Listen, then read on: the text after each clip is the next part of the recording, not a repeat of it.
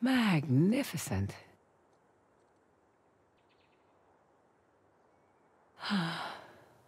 so peaceful up here.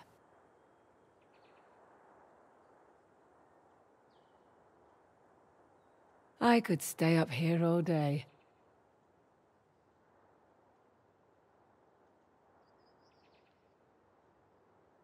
Nadine must be wondering what the hell I'm doing. Okay, seriously.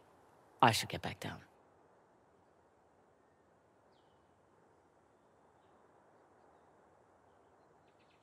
It's like I'm expecting to win a prize or something.